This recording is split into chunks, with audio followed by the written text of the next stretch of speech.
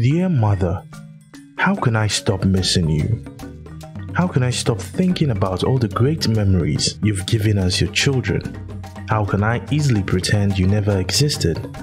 I mean, how can I slowly erase you from my memories?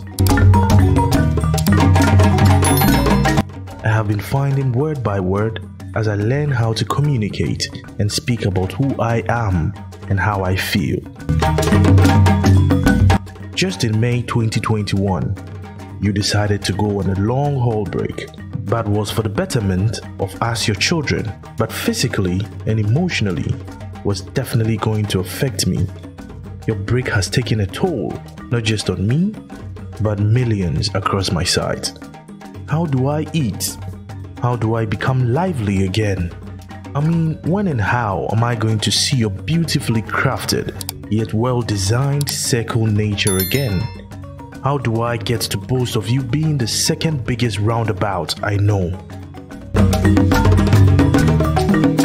I remember once when a thief tried robbing from you, but the good people around collectively caught the thief, disciplined him, and gave him an energy drink to consume from being disciplined.